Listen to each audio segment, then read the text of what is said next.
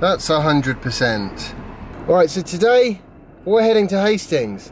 I have 100% charged the car because I'm pretty sure Hastings is a 100 odd mile each way journey and there's nowhere much to charge in Hastings, which is something I want to talk about. Just find where we're going on the old sat nav. There we go. I do like the way on the Tesla sat nav you can scroll back as far as you like through your history of places you've been. That is quite handy. I'm sure it's like that with every sat nav, but certainly I like being able to go back to. I mean, last time I went here was apparently May. So, right, anyway, let's have a look. What have we got here? 99 miles. Right, so with faffing, 100. Um, yeah. That's going to be... Going to take a while, certainly. And unfortunately for me, this car fully charged is only 229 miles now which is a reduction from my, it was 242 when I very first bought the car so we have lost a pretty solid 13 miles of range, which I work out to be a little over 10%, which isn't bad because we're now on 115,000 miles and over five years now I've had the car. Hello, hello, hello. Okay, I think it's time to uh, hit the road and then we'll talk a little bit about what's been going on with Tesla and their batteries because the older 85s, I've heard stories of a software update removing sort of 30 odd miles worth of range, which is not ideal. I haven't had that problem and I've had all the software updates, so that's that's fine. Yeah, I've, I've got a theory as to what's going on there.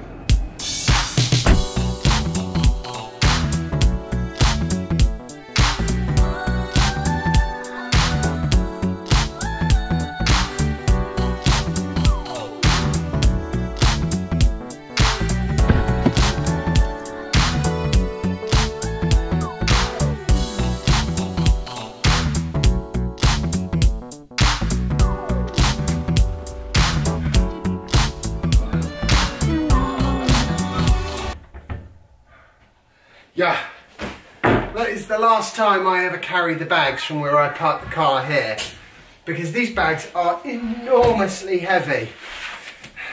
I mean, it is my own fault why they're so heavy. In fact, let me show you. One of the main things that made one of my bags very, very heavy is this little gizmo, which I love.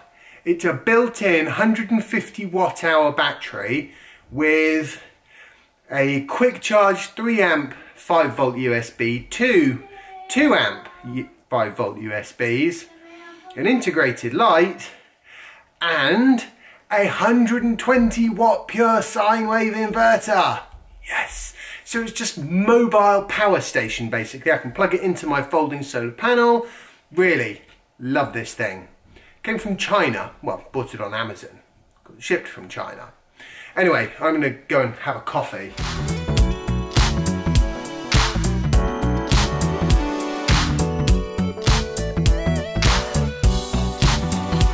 Alright, am I recording? Ah, yes, good. So my battery has gone down, I, originally when I first got it, it had 242 miles on it, as I said. Mm. Now it's on 229 at 100%. There were some cars when I picked mine up, and actually most of the other ones, that said 247 miles of available range when they were brand new. So let's pretend for a second that that's what my car either said or should have said. Maybe there was a calibration thing going on. So 247 is the new range.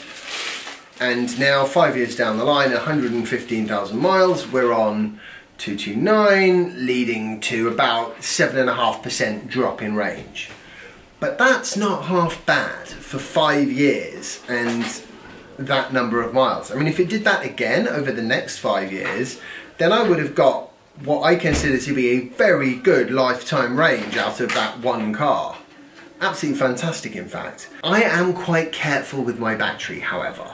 I try to keep it in the middle. I very rarely charge it to 100%. The only reason I charged it to 100% on this trip is because charging in Hastings is a bit of a nightmare.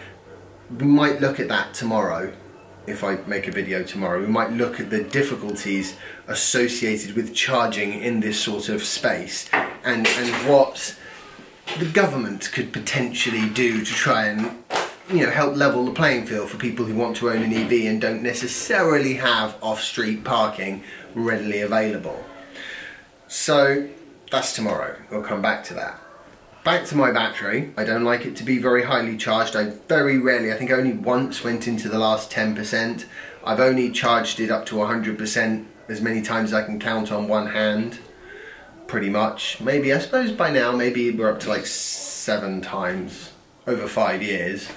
So nothing to worry about there. And so consequently, my battery's aging in a pretty predictable way, I think. I think what happened was they had that fire, I think it was in Shanghai, wasn't it, with the uh, Model S 85 kilowatt hour battery. And that kind of, I think, might have spooked them into thinking, well, perhaps these batteries have aged more than people think. Because let's face it, most people have been extremely pleasantly surprised by how well Tesla's batteries have aged. It's not been a case of, you know, when I bought my first Nissan Leaf, they were talking about, well, it shouldn't be less than 70% after three years, although they wouldn't even warranty that. You know, 70% remaining after three years. Hmm. Try 92.5% remaining after five years of pretty decent miles. That's more like it. And that's kind of been everyone's experience with Tesla the batteries have aged really well. I just think perhaps some of them might have aged a little bit better than they should have, or at least be reporting better aging than they should have. Because of course, the thing about estimating a battery's capacity is that's exactly what it is. It's an estimate. The only way to know 100% for sure is to run it all the way down to nothing and then charge it all the way up to 100% and then run all that power back out again and then you've got a full amount of how much power the battery takes, how much power comes back out. It allows you to answer all those little questions and then estimate in a much more accurate way what the charge is at a given voltage and, and a given load as well because that's what makes it particularly difficult with these, you know, with battery, you know, range estimates telling us how much power is in a battery, it does very much depend what kind of load is on the battery as to where the voltage is. Obviously, if I had a car and I suddenly lost 30 miles of range, I would definitely not be happy. I do wonder, however, whether they ever really had that 30% or whether they just thought they had it, but they've not actually tried to charge it up to 100% and then run it down to zero. I bet those cars would have stopped at about 25, 30 miles left on the clock and it would have gone, oh, I've run out of power. Boom, immediately, straight to zero. And honestly, I wouldn't want that. It's not worth having a number that just makes you feel better. It is fascinating watching the way the fleet of Tesla batteries ages over time and sort of how they dispel certain myths and you know maybe reinforce other ones about the way that batteries age it's certainly clear to me that you know they can be created and used long term. You know, they don't have to be something which is renewed every two or three years, which was always one of those central sort of things that people would, you know, say, oh, that's a good reason why electric cars will never make it. Uh, every three years you'll need a new battery and it'll cost more than a car. Luckily, doesn't seem to be working out that way.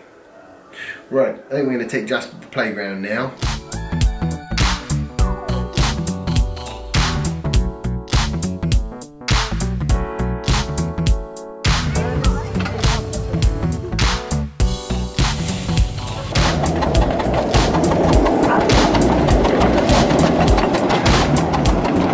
Enjoyed today's vlog post. If you have, remember to like it, share it, subscribe if you haven't already. Follow me on Instagram and Twitter if you don't already, and I'll see you in the next episode of my vlog.